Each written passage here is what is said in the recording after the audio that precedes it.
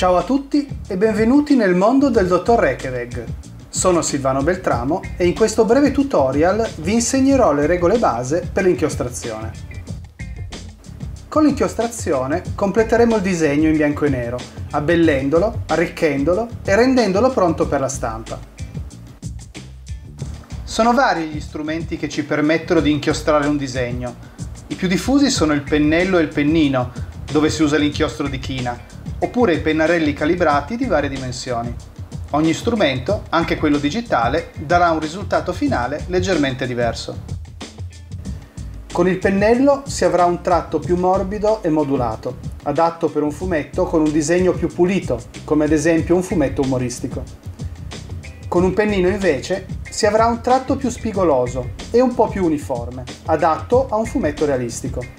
I pennarelli calibrati invece possono essere adatti a realizzare le geometrie di mezzi meccanici o architettonici. Nell'inchiostrazione, la modulazione della linea serve anche per rendere maggiormente le differenze tra i piani prospettici di un disegno. Gli oggetti o i personaggi in primo piano avranno delle linee più spesse rispetto agli elementi in secondo piano. La linea esterna portante dell'oggetto sarà più spessa delle linee interne. Infine, con l'inchiostrazione si potranno poi realizzare le campiture nere e i tratteggi, che simuleranno le ombre del nostro disegno al tratto. Proviamo ora a inchiostrare un disegno del dottor Rekeveg. Partiamo da una illustrazione già a matita. Per comodità possiamo virare il colore del disegno a matita dal grigio all'azzurro, per non confonderci al momento dell'inchiostrazione. Partiamo dalla linea del personaggio che sarà più spessa delle linee interne e che servirà a dividere le masse e il personaggio dallo sfondo. Iniziamo a realizzare i particolari con delle linee più sottili.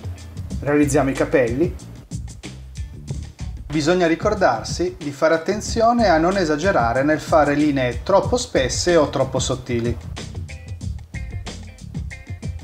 Inchiostriamo le pieghe dei drappeggi del vestito del dottor Rekeveg.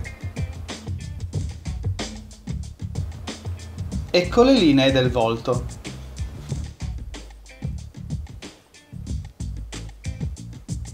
Segniamo le masse delle ombre riempiamo le campiture di nero,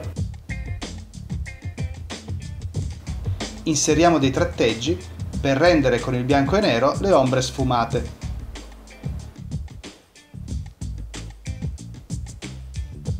Qualche ultimo ritocco.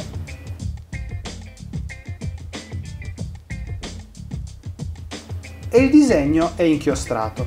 Bene, per oggi è tutto. Nel prossimo tutorial parleremo di mezzitoni e retini. A presto e buon disegno!